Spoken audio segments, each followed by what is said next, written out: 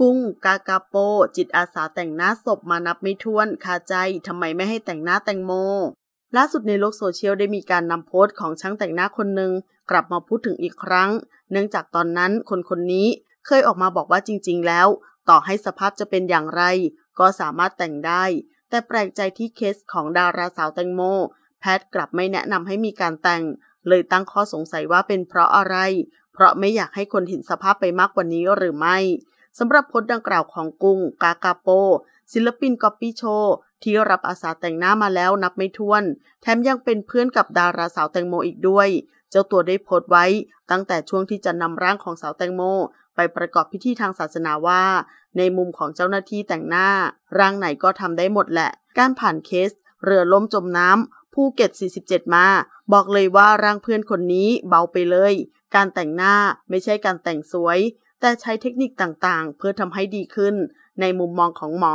เขาไม่เคยมาแต่งหน้า เขาอาจจะไม่รู้วิธี แต่ในมุมของคนแต่งมันอึดอัดใจนะทั้งๆทที่รู้ว่ามันทำให้ดีขึ้นได้ กุ้งกากาโปยังเขียนระบายความในใจต่ออีกว่า การแต่งหน้าแต่งตัวให้ดูดีขึ้น ไม่ใช่การแต่งเพื่อเปิดโชว์ใคร แต่เราจะรู้สึกดี ว่าเขาดูดีกว่า จากภาพที่ใครที่ส่งส่งต่อกัน เราอยากเปลี่ยนภาพนั้นให้เขากลับมาสวยขึ้นกว่าเดิม พื่อนคนนี้ทำได้ค่ะ ผ่านมาทุกแบบเป็นพันๆไม่ได้บอกว่าตัวเองเก่ง แต่คนที่ทำงานด้านแต่งจริง ๆ จะรู้ว่าทำได้หรือไม่ได้ งานหมอเราไม่ถึงหมอ แต่งานแต่งหน้า หมอก็ไม่รู้เท่าเรานะ อึดอัดมากที่ช่วยเพื่อนไม่ได้ เพราะคำว่า หมอไม่แนะนำให้แต่ง และผู้เก็ตจมน้ำมาเป็นสิบวันยังแต่งเลยร่างหน้าเละแค่ไหน เย็บสดๆยังแต่งได้เลย มันคือการปกปิดร่องรอยเดิม ใช้เทคนิคปรับสภาพใหม่จาก 0%มันอาจจะเพิ่มมาเป็น 50-60%หรือ 80%จากระยะเวลาที่นาน การแช่เย็น สภาพความบวมลดลง ใบหน้าร่างกายเริ่มแห้ง คือมันทำได้ ร่างตายเก็บมา 5 ปี เรายังแต่งได้เลย เจอแบบนี้ท้อ